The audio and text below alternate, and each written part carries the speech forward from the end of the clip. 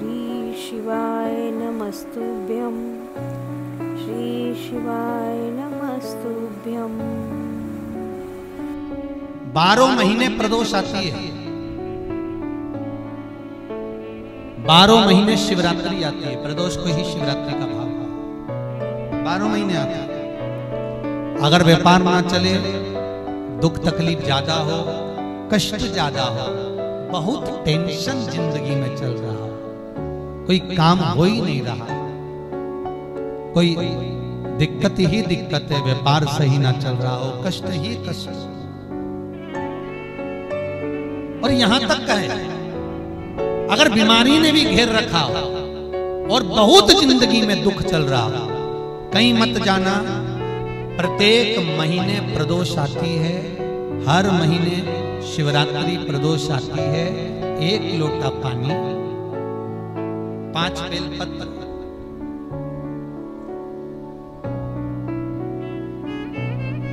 पाँच बेलपत्र एक शमी पत्र एक शमी पत्र पाँच बेल पत्र तांबे के लोटे में, जल में डाल लीजिए। सात दाने अक्षत के, आखे अक्षत से डाल लीजिए। और प्रदोष काल में प्रदोष काल जो शाम का समय होता है, प्रदोष काल में भगवान शंकर के मंदिर जाकर पाँव में चप्पल पहनकर ना जाइए, घर में घी का दिया लगाकर कलश लेकर शिव के मंदिर में चले जाइए।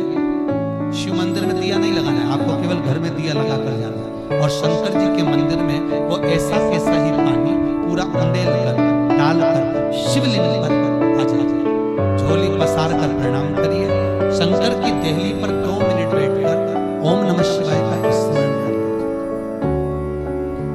नमः शिवाय भी आपको बोलना बताया था कि सौभाग्यवती नारी, स्त्री, नमः शिवाय, ओम बोले और पुरुष, ओम नमः शिवाय। अगर पति और पत्नी दोनों बैठकर जाप कर रहे हैं तो दोनों ओम नमः शिवाय बोल सकते हैं। पर नारी अगर अकेले बैठकर स्मरण कर रही है तो नमः शिवाय, ओम। आप जब नमः शिवाय, ओम बोलना चालू करेंगे तो ओम अपने आप ही आगे आ जाएगा। बोल कर देखिए, नमः शिवाय, ओम। नमः शिवाय, ओम नमः शिवाय नमः शिवाय से चालू करा, ओम अपने आप आगे आ जाएगा पर पुरुष जब जब जाप करे, ओम नमः शिवाय। पति पत्नी दोनों बैठकर जाप कर रहे हैं तो ओम नमः शिवाय बोल केवल स्त्री जाप कर रही है तो नमः शिवाय, ओम नमः शिवाय, ओम नमः शिवाय, ओम नमः शिवाय, ओम नमः शिवाय। पाँच बार, तीन बार, सात बार कुछ देर शिव के मंदिर में, प्रदोष काल में, प्रदोष के समय पर, प्रदोष के दिन।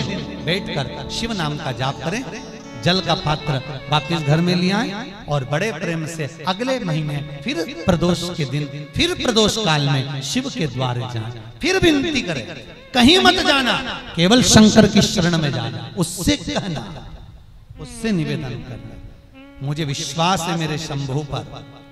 स्कंद पुराण कहती है शिव महापुराण कहती है। अगर आपने दो या तीन या चार प्रदोष ही कर लिए तो मेरा महाकाल बाबा आपकी झोली तो भर ही देगा। खुशी।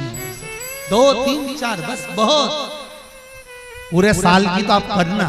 छोड़ना मत, अगर बाबा दे भी दे तो पूरा साल तो करना ही करना बीच में नहीं छोड़ना बाबा।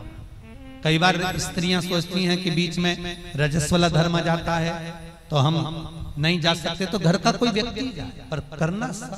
पूरे महीने की मतलब हर महीने में एक बार कैलेंडर में जाके निशान लगा लो लिखा हुआ रहता है प्रदोष। निशान लगा लो कि इस दिन मुझे जाना है शिव मंदिर। नमन करना है। अपनी दिल की बात बाबा भोलेनाथ से कहना है। अपने मन का बात मुझे शिव से कहना है। बस विचार कर लिया कह।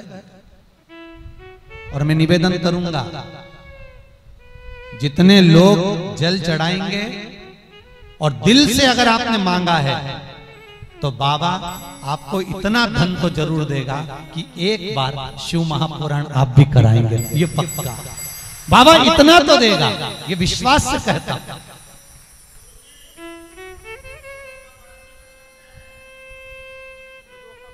हाँ। आपका मन है, करना हो तो करो, नहीं तो यहाँ तो हमारे यहाँ तो शिव महापुराण की कथा कहती है, तुम्हारा भाव पड़े, वैसा करो। पर प्रदोष का जो नियम बताया है, शंकर का अनुमोदन जो बताया है, वो कर सकते शिव का स्मरण, शंकर का बाबा इतना तो ज़रूर देगा कि एक बार आप भी हिम्मत कर सकोगे कि मुझे शिव पुराण कराना है, और शिव कराएँगे, और शंकर ही सुनाए। वो देगा तो होगा। नमः शिवाय, ओम नमः शिवाय, ओम नमः शिवाय। वीडियो पसंद आए तो चैनल को लाइक और सब्सक्राइब ज़रूर करें। पंडित जी द्वारा बताए गए उपायों को ज़रूर करें, क्योंकि ये आजमाए हुए सारे उपाय हैं, जिनसे आपको लाभ प्राप्त हो सके। परिवार और मित्रों के साथ ज़रूर शेयर करें, जिससे वे भी इनका लाभ प्राप्त कर सकें। धन्यवाद।